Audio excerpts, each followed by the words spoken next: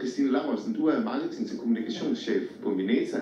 Nu står folk lidt og er i kø til at få en af de her øh, julefrokostkuverter. Og, men hvad er det for en øh, anderledes øh, julefrokost, I har planlagt for jeres medarbejdere her i år? Ja, nu skal du høre, altså vi plejer jo egentlig at være rigtig lækre omgivelser ude på, på OB stadion, men øh, de her særlige omstændigheder i år, de har jo tvunget os til at tænke lidt kreativt og finde på nogle andre løsninger til vores øh, medarbejdere. Og så har vi igennem vores sponsorat med OB øh, kunne tilbyde de her øh, julebokse, som vores kolleger kan tage med hjem og nyde i trygge rammer. Og vi har også kunne give mulighed for at tilkøbe nogle ekstra kuverter til dem, der har større familier og børn osv. Øhm, og vi skal jo faktisk øh, uddele over 500 kuverter her i dag, så det er rigtig fedt at kunne mærke, at der er så stor interesse og opbakning omkring den her.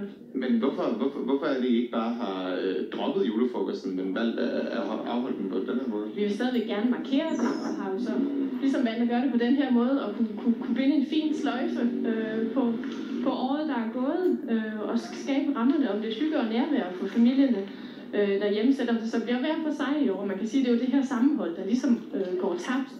Og der har vi jo taget skridtet videre og tænkt, jamen kunne vi ikke prøve at skabe det på en anden måde, og der har vi valgt at uddele de her mandelgaver øh, til den bedste juleselfie fra hjemmejulefrokosten, så der bliver en lille konkurrence omkring det.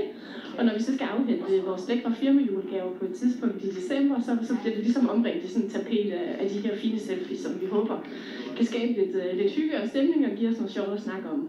Og Frank Andersen, du arbejder i OB's sponsorafdeling. Nu plejer jo normalt at levere øh, julemad til sådan en, øh, til nogle julefrokost, hvor man samles måske forsamles ude i en hal eller et eller andet, og man får lidt snaps til hvert ben og, og giver en krammer og sådan til folk. Hvordan har I oplevet, at, øh, hvordan